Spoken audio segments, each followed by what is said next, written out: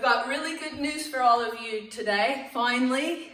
Um, we've passed the first hurdle in the call for evidence and DEFRA are announcing a public inquiry now and you don't, you only have, I believe, two months in order to get your opinion into the government and let them know about what you feel about primates that are being kept as pets in Britain today.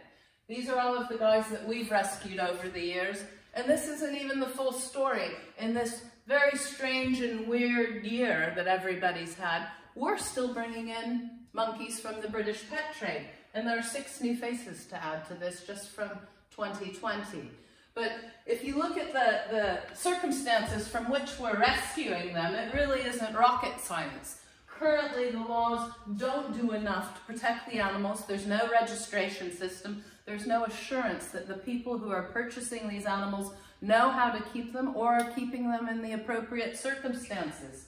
Three marmosets only a few weeks ago kept in the, living in this cage inside of a house. It's appalling. Got a squirrel monkey from this one. Marmosets, marmosets. They don't belong living in solitary lives in bird cages in people's houses, and that's what's got to stop. What we need all of you to do is to help us speak for them. Please follow the link.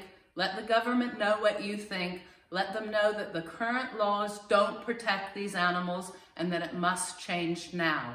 This is the next step before the Minister for DEFRA, Minister Goldsmith, can actually do something to change the laws